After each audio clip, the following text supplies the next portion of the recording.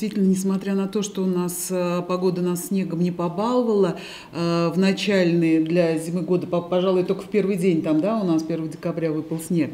А вот. Но, э, тем не менее, праздничные мероприятия, зимние мероприятия, они начались.